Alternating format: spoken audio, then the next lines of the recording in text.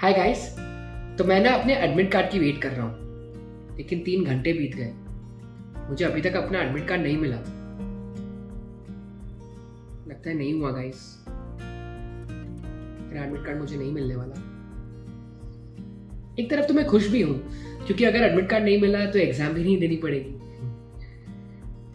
लेकिन सबको क्या मुँह दिखाऊँगा? लोग सोचेंगे कि ओ नो आ गया। एडमिट कार्ड आ गया।